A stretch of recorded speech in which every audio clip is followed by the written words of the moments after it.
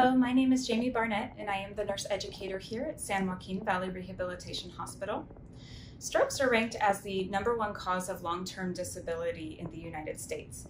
This is due to the vast list of potential ailments a stroke survivor may present with. Each stroke is unique and it requires a recovery program that is tailored to meet that uniqueness. There is no one size fits all solution. Acute rehabilitation is individualized to maximize recovery by sparking neuroplasticity. Neuroplasticity is the brain's ability to regenerate new neural connections after an injury has occurred.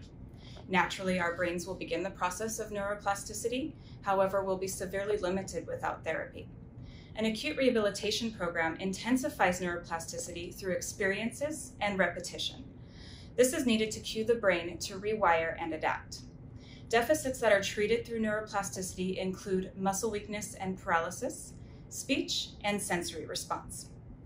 An acute rehabilitation team consists of, but is not limited to, doctors who provide daily visits to the patient and oversee the entire recovery program, nurses who provide 24 hour medical monitoring and reinforce the therapeutic interventions developed by therapy physical therapists who create a program designed to reach the best level of function, occupational therapists who assist with relearning activities of daily living. This will help maximize independence. Speech language pathologists who will help with deficits in memory, speech, and swallowing.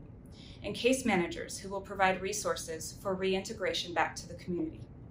This interdisciplinary team works together with the primary goal of getting you, our patient, back to better. Thank you for watching this video and have a wonderful day.